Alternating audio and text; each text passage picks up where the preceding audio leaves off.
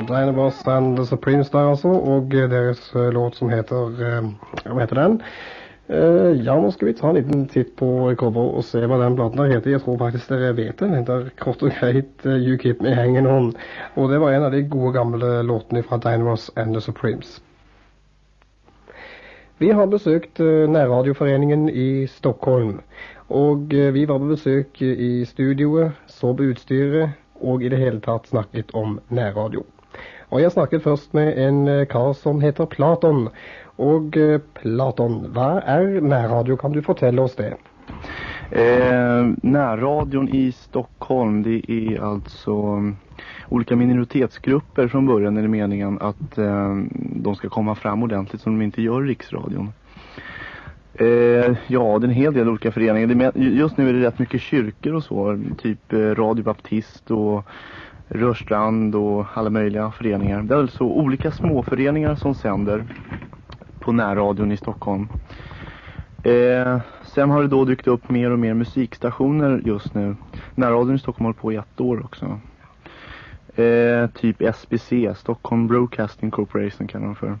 Radio SUS, de spelar också mycket sån här kommersiell musik som man inte får spela egentligen. Hvor ofte sender nærradioen? Hur ofta? Dygnet runt. Från, ja, 24 timmar om, om dygnet. Så senderen står til eh, disposisjon nesten for hvem som helst. Man krever faktisk bare at det er en forening som står bak. Eh, huvudsakligen nu kan man alltså, man måste ha en förening för att få en, ett sändningstillstånd. Och för att få ett sändningstillstånd ska man ha en förening och sen ska det gå till en, ett ställe som heter närradiokommittén. Och där sitter en del politiker och annat folk. Sen när man fått sin sändningstillstånd då får man eh, någon tid tilldelad i veckan då. Ja, då, just nu i alla fall på Stockholmssändaren är det fullt. Men nu på sommaren så tar en del ledigt. Men också på grund av att de inte har råd att betala de här pengarna till STIM. Men eh, hvor, skal, hvor får dere penger til å eh, drive nærradioen ifra? Dere har jo ikke lov til å drive reklame, blant annet. Og eh, ja, det er en del andre ting òg dere ikke har lov til, som vi i grunnen ikke trenger å komme inn på her.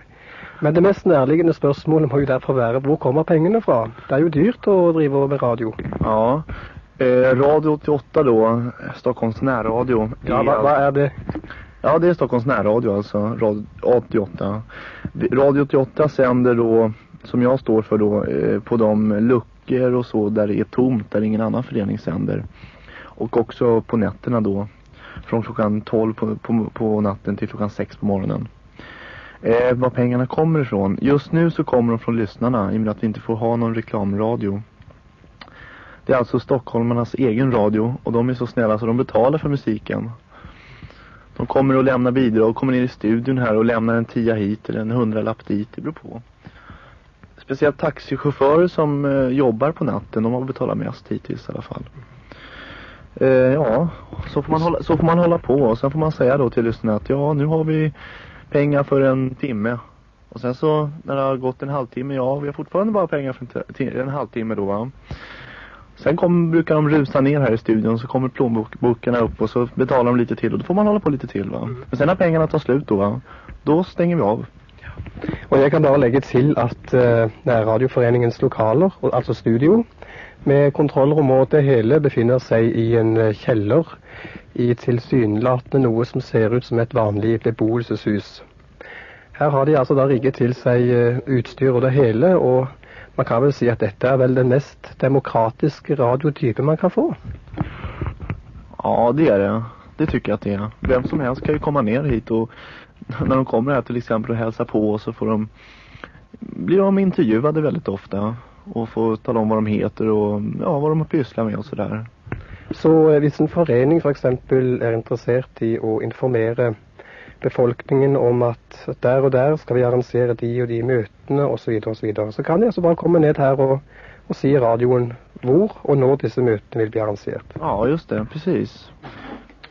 Ja da, det var alltså vårt besök i närradion i eh, Sverige, i Stockholm. och eh, är det bara att ställa frågan, varför har vi inte detta i Norge, då man?